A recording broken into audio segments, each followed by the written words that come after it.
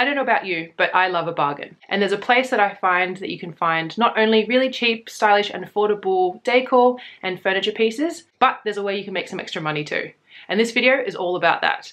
On today's video, I'm going to be showing you how I take these boring, plain, classic bedsides that I found at my local thrift shop for $30 and transforming them into something pretty modern and spectacular. So if you want to learn how to flip furniture either for a profit or just for your own home and making it more stylish and personal to you, then this is the video for you, so continue watching.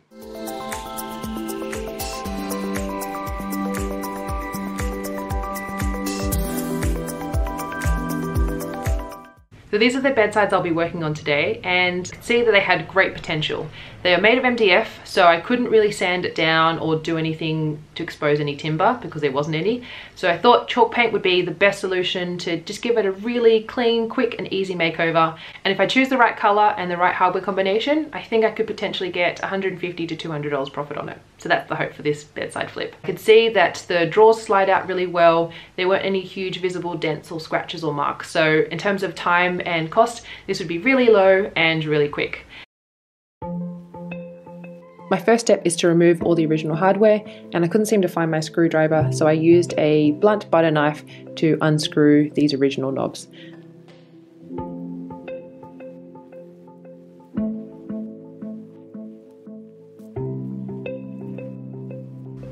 With all the hardware now removed, I can get on to the next step and the most important step, and that's cleaning. So I'm just using an all-purpose cleaner just to remove all the dirt and grime and oils as it was pretty old and it did have a lot of dust and dirt collected on these pieces. So I'm just going in through the sides and the tops and underneath the feet and all the back as well. Once that cleaning is all done, I'll just let it dry for an hour and then move on to the next step, and that's the painting.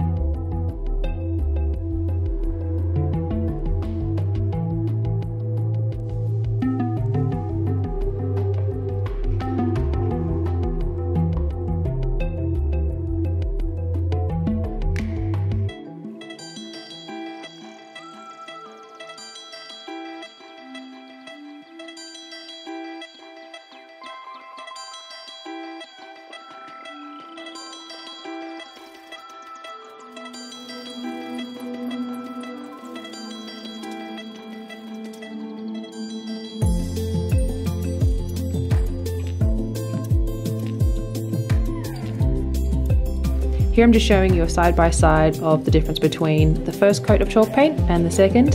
The first always feels a little bit splotchy and uneven, but don't fear, get to the second coat, you can see the coverage becomes really good. When working with bedsides, it can be quite handy to just flip over the bedsides and paint it with the feet in the air.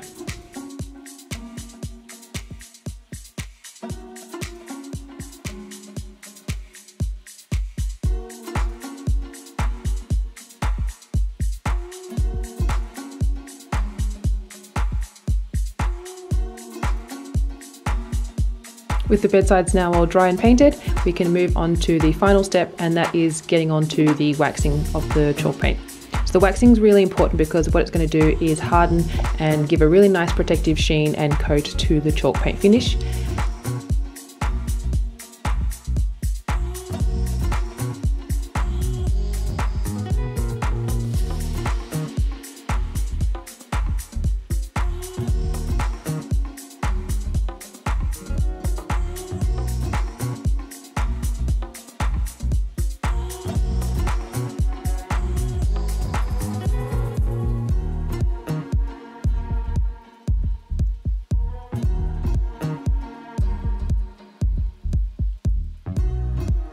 And with the wax, you want to let it cure for a few days before putting anything on top of it.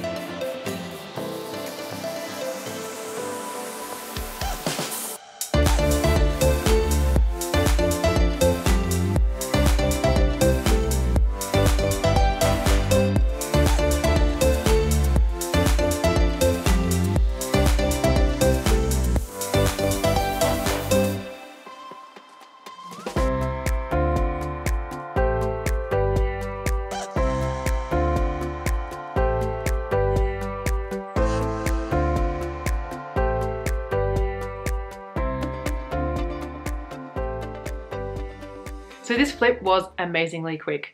All it took was about under two hours and that is including the cleaning, the painting of the two coats, the waxing, the staging, and the listing as well. So if you're wanting to make a bit of extra money or maybe just want to learn a hobby and craft on the side, this is definitely a skill that you can do any time of the day.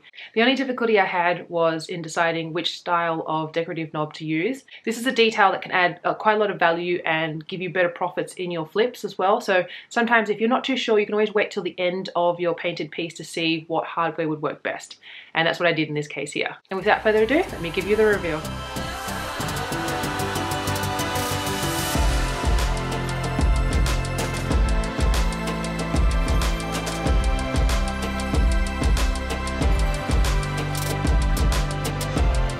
Absolutely adore how these bedsides turned out.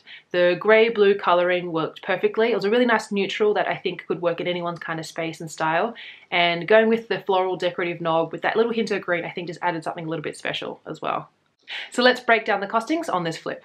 So the bedsides themselves for the pair cost $30 and I'd say materials for the paint and the wax were about $10. The biggest cost and what I would call an investment on this flip were the new decorative hardware pieces. So these pieces are actually called Hera and actually are from my own collection on my website Renewed Living Studios and I'll link that for you below. These knobs were $7 each and that brings it to a total of $42. So I'm all in at $82 for this flip and I ended up listing this piece for $280 and it amazingly sold in 24 hours for the full asking. So this gives me an incredible $198 profit. Not bad for two hours, hey? If you enjoyed this flip and makeover, give it a thumbs up and subscribe below if you want to stay tuned for more makeovers and amazing flips. Thanks for watching and see you next time.